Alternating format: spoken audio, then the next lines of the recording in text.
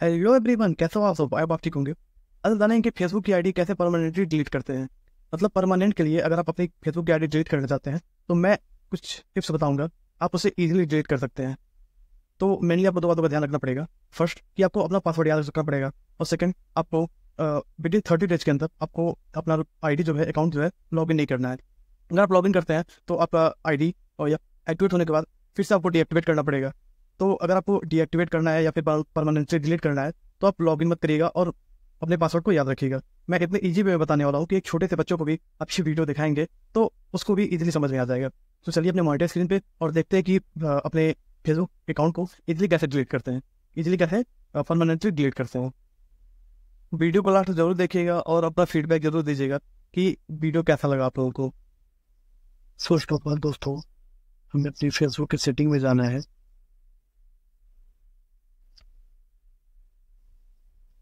नीचे यहाँ सेटिंग दिख रहा है ना? सेटिंग पे क्लिक करेंगे। क्लिक करने के बाद कुछ ऐसा इंटरफेस ओपन होकर आ जाएगा। ऐसा मैं लैपटॉप में दिखा रहा हूँ। आपके फ़ोन में भी ऐसा ही इंटरफेस ओपन होकर आएगा। ठीक है?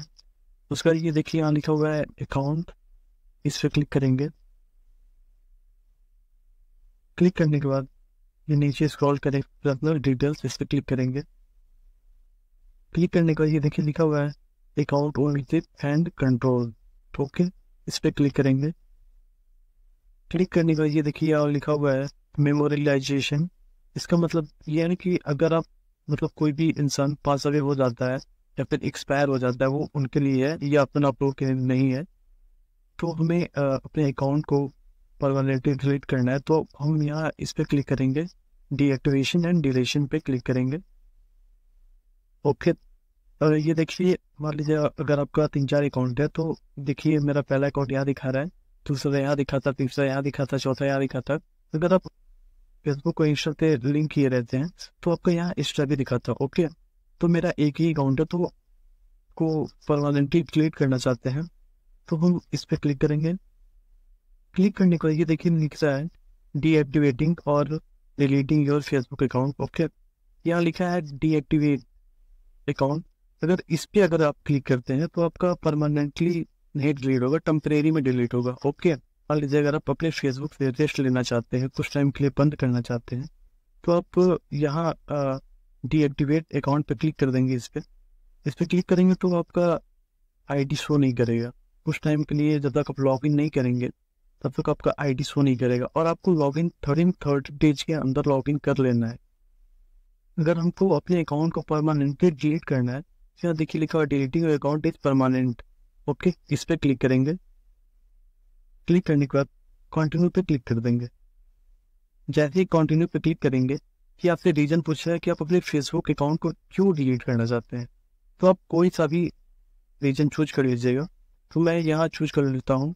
I no longer find Facebook useful okay इस पर क्लिक करता हूँ। क्लिक करने के बाद यहाँ कंटिन्यू पे क्लिक करता हूँ। तो ये अपवाद इसको छोड़ते हैं। यहाँ नीचे कंटिन्यू पे क्लिक करते हैं।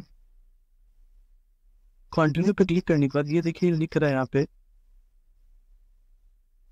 सेव फ़ोटो अगर आप अपने पोस्ट को सेव करना चाहते हैं तो यहाँ फ़ोटो एक्टिविटीज़ लॉग पे क्लिक करेंगे।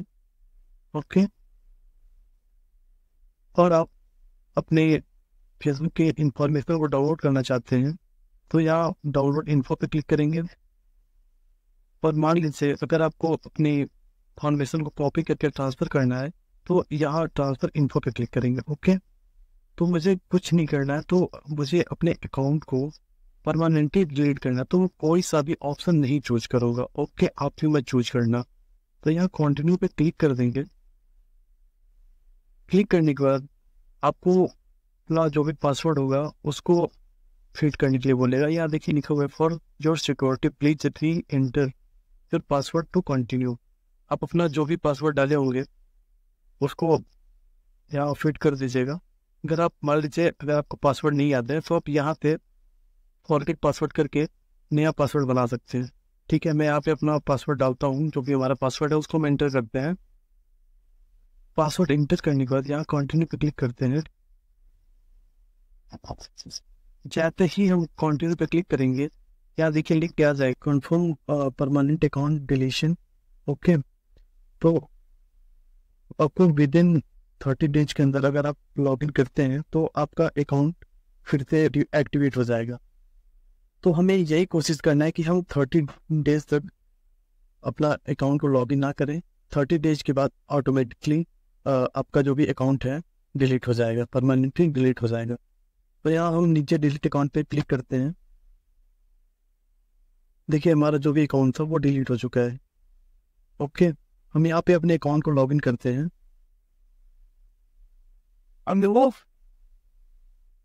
ये देखिए लॉगिन ये देखिए लिख रहा है यहाँ पे।